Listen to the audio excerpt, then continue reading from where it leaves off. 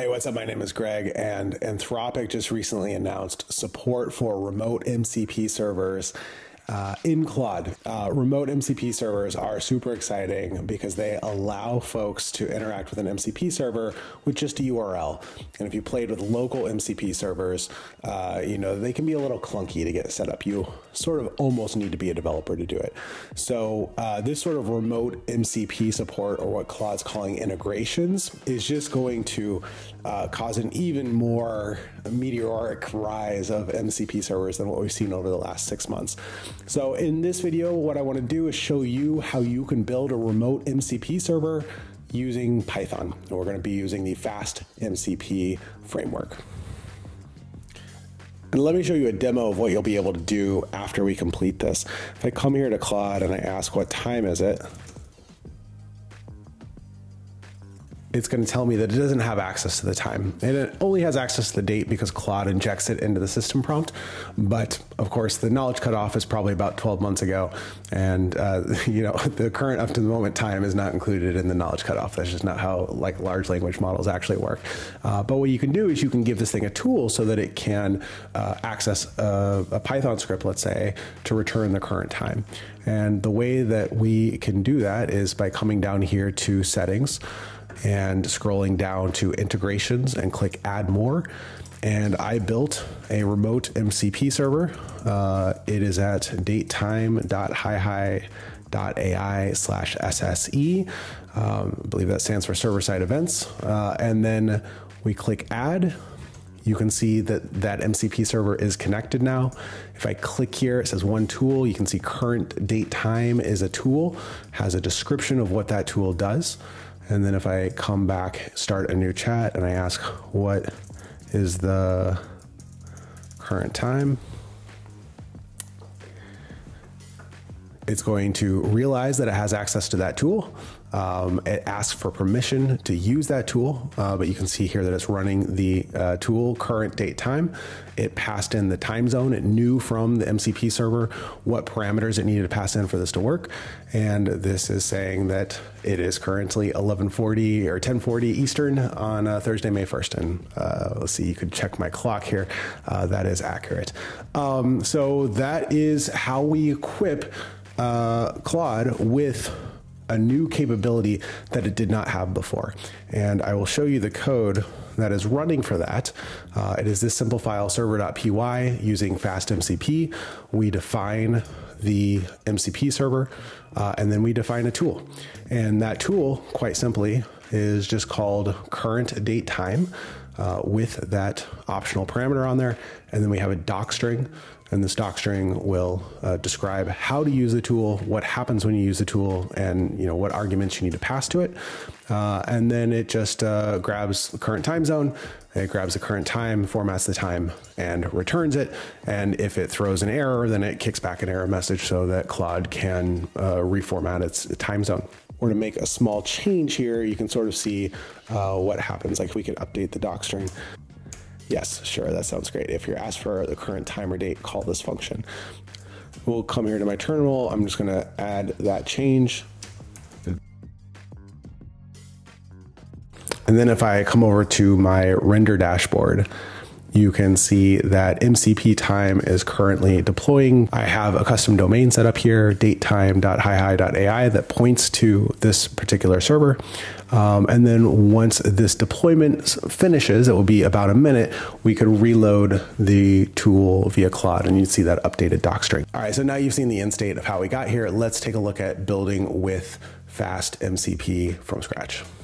All right, so I'm going to come here to gofastmcp.com or you can visit their GitHub page. Uh, you'll find very similar information on both. I generally have found uh, the website to be a little bit more pleasant. Uh, so I'm just going to click copy here on their getting started. Um, so I liked this version here. So this is kind of the, the hello world with a little bit of extra seasoning on it. Um, so we import the library and then we create a new MCP server and we name this thing. So in this case, I want to call this uh, date and time. All right, and then um, so MCP with instructions is going to provide a little bit of additional detail to the model on how and when to use this. So we will add that in there and see if Cursor uh, there we go. The server provides the current date and time. Call current date time to get the current date and time. So that's great. So we have uh, now we just we have a server. It doesn't do anything yet, but we do have a server. Uh, so the first thing you're going to want to do, and, and, probably you know current state of affairs is that tools are the things that most people associate with MCP servers. Um, though I suspect we'll start seeing a lot more use of resources and uh, prompts, but uh, tools is probably what you're going to be working with right now. Uh, so we're going to create a new tool. We're going to call this tool. Uh, it looks like actually Cursor knows exactly what I want to do here. So uh, we're going to create one called uh, current date and time, and it filled in the doc string for me. Uh, so that's fantastic. And it looks like Cursor's just going to. I have already done this before. Let's just here. We'll do it the proper way. please write the rest of this function, which, given a time zone passed in via the arguments will calculate the current time and date formatted in a string and return it.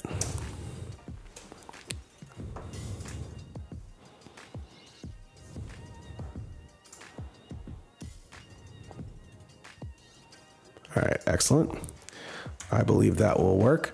Let's move these where I think they belong, although I know some folks do the inline imports. Um, great. And so now we have our function, uh, super simple function. Really, we're just talking about three lines here uh, with uh, some error handling. Now we'll try this out. It does give you a couple different ways to test it. Um, you can use FastMCP as an MCP client. So when you're talking about MCP, there's the client and the server. Typically, that client's going to either be Anthropic uh, or like the Claude app, or say, for instance, Cursor is probably the most popular MCP client. Uh, an MCP client can interact with a MCP server, um, and it doesn't. An MCP client doesn't have to be a fully featured app. It can be a script. Uh, Pydantic AI uh, is one that I've used in the past to act as an MCP client to interact with MCP servers. You can also use FastMCP for this. Uh, I think there's a better way to do this. Uh, so for right now, I'm just going to do this to uh, run our script and let's see if we can just simply get it to start. So we can use this fast MCP run my server.py MCP command here. Uh, I can rename this because mine is actually called local server and my server starts up. Anthropic has launched a really useful tool for debugging MCP servers and building MCP servers called uh, the MCP Inspector. You can run this with just this npx command. You don't even have to uh, do any installation ahead of time. And if we drop that command in there, the command is going to be fastmcp and the arguments are going to be everything that comes after it. Uh, if I come up here to tools, and click on tools, you can see a list of all the tools that are available. So my MCP inspector is realizing that there is a current date time uh, tool, and I have the option here just to very simply run it, and it populates the argument here with whatever the default was. So I click run tool and I get the current time and I see that it's successful run. Uh, this tool is so useful. I'm sorry, the MCP inspector is so useful because when you're building MCP servers, uh, you're ultimately going to be using an LLM as the client and the driver for that. And LLMs are kind of like the worst mix of computer programming of being non-deterministic and opaque. Um, so this gives you a deterministic and transparent way to interact with your MCP servers. And I'm very glad that uh, they shipped this. We could attach this MCP server to Cursor or to uh, Desktop um, because it is a local MCP server. It's running locally on my machine. No one outside of my machine can use it, but the clients that are running locally on my machine can use it. Um, and so, you know, this is, uh, it's going to be hard for me to distribute this to other folks, right? And so there's a whole host of advantages that come if we can take this local MCP server and turn it into a remote MCP server. So let's see how we do that say two big differences here. Uh, first, we're going to go under transports. Standard IO is the default transport for transferring information from the MCP server to your MCP client. Um, this works locally. If you want it to work remotely, you need to use a different transport. Uh, and I'm recording this on May 1st. This is the day that the announcement of Claude integrations came out. So I want to get this video out.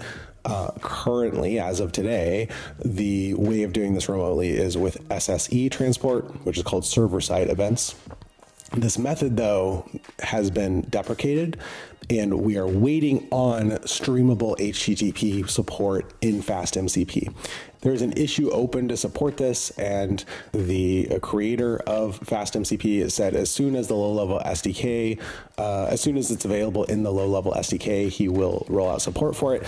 Very possible by the time you're watching this video, you're going to want to do everything that I do here, except you're just going to want to use the streamable HTTP transport as opposed to the SSE. But I don't think it's going to be a terribly big shift for you. And so the actual code that I used came from uh, under FastMCP server, under server uh, under SSE transport here. Uh, and I used this code to run uh, asynchronously. And I'm going to paste that there. And I knew that I would have to do some different configuration of uh, the way that the server ran once I pushed it to render. So I wanted to have control over the host and port, etc. Uh, and in fact, the way I'll do this is just to come here and say, please modify this to work on render.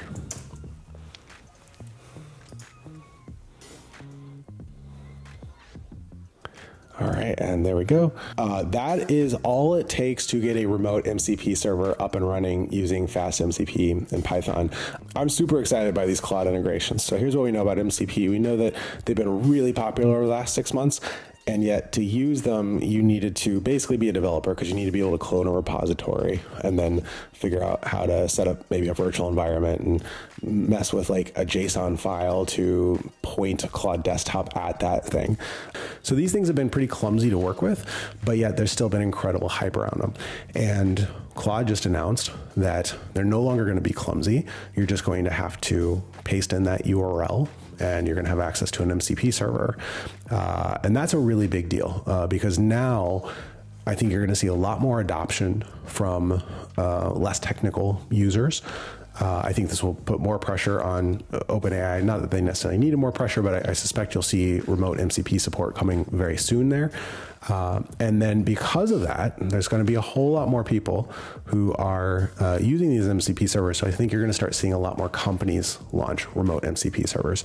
Uh, and this is uh, a very, very exciting time to know how to code. And I think if you're getting started now, you got a little bit of a head start.